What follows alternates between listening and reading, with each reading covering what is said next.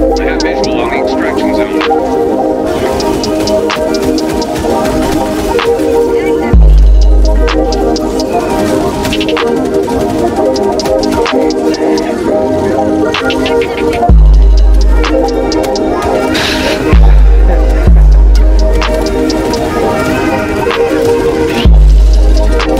zone.